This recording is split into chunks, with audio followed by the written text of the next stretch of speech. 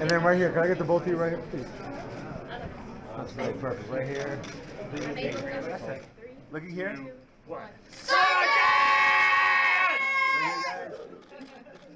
it sort of follows the story. It follows the story of Peter Pan through Wendy, um, and then it takes a hard right turn and goes places that you would never expect it to go. Yeah, it was. Um, you know, when we when we sort of set out to make this film, it was both kind of the movie that me and my sister Eliza wanted to make our whole lives, and we sort of also wanted to have the greatest adventure we've ever had, and we sort of designed this film that would uh, let us live that, and we, we very much did for a very long time, and it was a spectacular experience. We very much write based on things that we find and people that we meet. So, you know, we had our story, we had our plot, and then each time we met an actor, we felt like um, needed to be part of the film. We would rewrite their roles. Sometimes we'd add roles. We'd find places that were spectacular. We'd write them into the film, and so everything in the, in the script was constantly evolving and changing based on places that we were exploring and people that we were finding to um, cast in the film. This is the this is the the room in the building that changed my life eight years ago, and it you know to go on such a long journey uh, and have it come back here uh, for this moment is really feels exactly right, like it's supposed, what was supposed to happen all along. So yeah. Oh, just these kids uh, seeing it for the first time is going to be. I waited a long time to show them what incredible work they did, and they they're all tremendous heroes and went through incredible things to, to get this done. And so, seeing them react is is really exciting.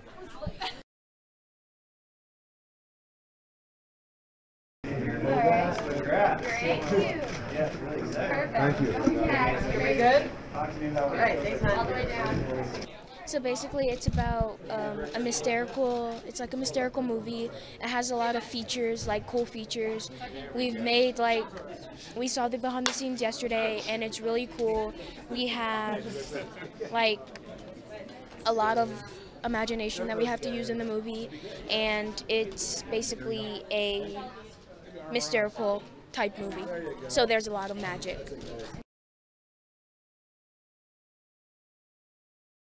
It's going to inspire someone to make them happy, and that's what I And guys, right here, please, just like that. make people happy and make them feel like it was worth it. Like that. And who's on the left? Well, we're twins in the movie. We're Wendy's brothers, and brothers. Uh, I, I don't know. Well, he's the, he's the chicken in the movie. I'm the one that goes does everything. I'm the one that wants to do anything. If they have something engaged, I want to do it. I'm like, oh, let me do it. So it's like if he don't want to do it, I'm gonna do it, and I'm the one that's always leading the, the stuff. If it goes down, it goes down because of me. I've been seeing a lot of things. They're saying, "Oh, it's just another remake of Peter Pan." It's really not. It's a different perspective from a different person. But it's it's gonna be different. Is this your first?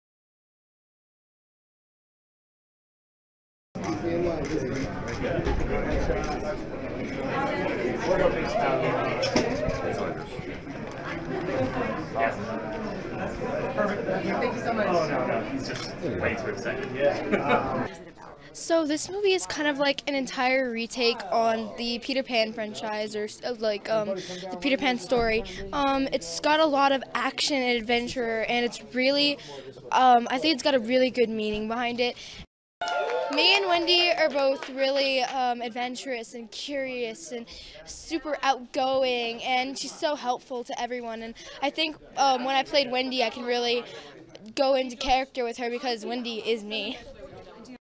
I think the audience will really enjoy the movie because it's very heartfelt, and I think for some people it's going to really touch them in a certain spot that might, you know, really mean something to them. So I think that instead of just being a Peter Pan movie about never growing up, that this is going to have such a deeper meaning, and it's going to be therapeutic, I think, for some people maybe, and it might help them.